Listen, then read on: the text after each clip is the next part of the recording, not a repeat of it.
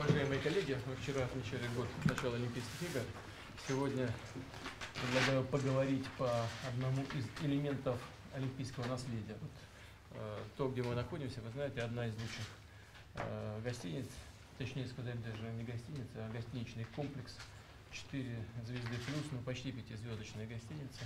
Предлагаю э, отдать ее для детей по трем направлениям. Это, а, это спорт, причем такие наиболее популярные базовые виды спорта, зимние, как э, хоккей и фигурное катание, затем из, из спортивных школ со всей страны дети должны приезжать, так же, как мы сейчас уже Виталий Ильич запустил это, мы изначально с ним делали, вот эта часть уже запущена.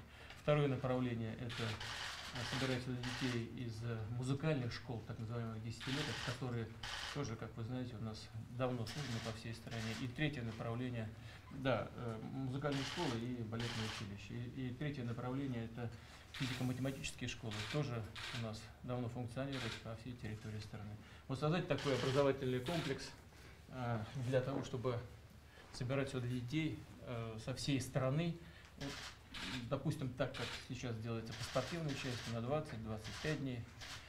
А, и цель не только здесь э, создать условия для того, чтобы дети здесь могли в течение всего года заниматься, те, кто приезжают на эти 20 лишних дней, но и создать как бы первый этап поиска талантливых детей и затем их сопровождение дальше вплоть до УЗа и э, последующего трудоустройства. Вы знаете, что да, я об этом говорил, не помню, в послании, по-моему, о том, что мы планируем ввести так называемый президентский грант для наиболее талантливых молодых людей, поступающих в высшие учебные заведения.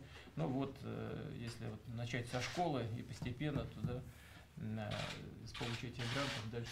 Но этого совершенно недостаточно, конечно. Нужно создать целую такую мощную систему подготовки и отбора. Это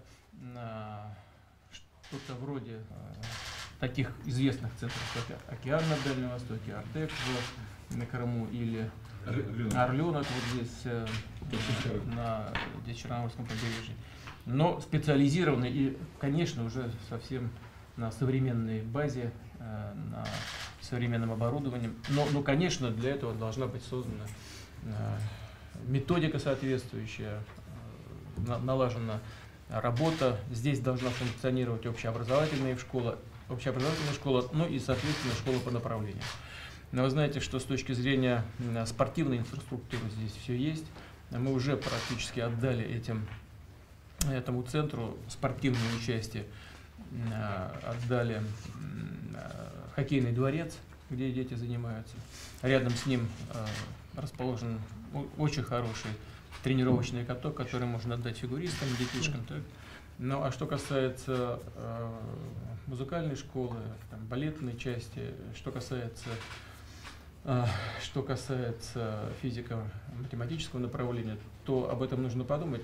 Я думаю, на, наверное, лучше всего это построить отдельную школу. Можно поговорить. Здесь объектов много, они пока не все еще задействованы можно либо что-то отдельное сделать, реконструировать, либо приспособить имеющиеся площади здесь.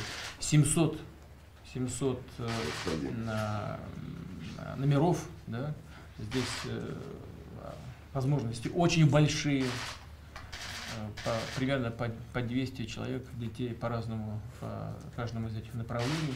Разумеется, на первом этапе на, на, на первом этапе без э, помощи правительства, без э, помощи соответствующих министерств э, не обойтись. Я просил бы Министерство культуры, Министерство образования и науки подключиться и разработать по линии своих ведомств такие же программы, какую уже подготовило и осуществляет Министерство спорта. А в дальнейшем полагаю, что в дальнейшем э, это э, можно было бы перевести на абсолютно частное финансирование, создать такой хороший, хороший детский частный центр.